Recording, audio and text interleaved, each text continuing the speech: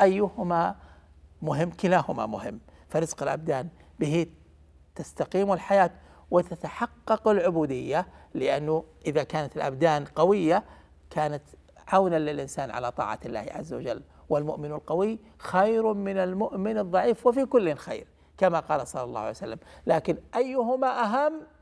بالتأكيد رزق القلوب بالهدايات والأنوار أعظم أهمية وأخطر في نجاح الإنسان وفلاحه وسعادته في دنياه وأخراه.